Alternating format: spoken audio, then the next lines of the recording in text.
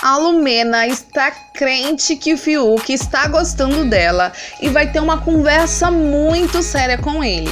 Ela vai chamar ele para conversar, pois ela desconfia que ele está gostando dela. Será que a Lumena tem razão? Ou será que Fiuk está se aproximando dela por pensar que ela está se dando bem no jogo e é a mais forte? O que, que você está achando dos dois no jogo? A Lumena, ela está crente que é a melhor do jogo e tá dando lição de moral em todos.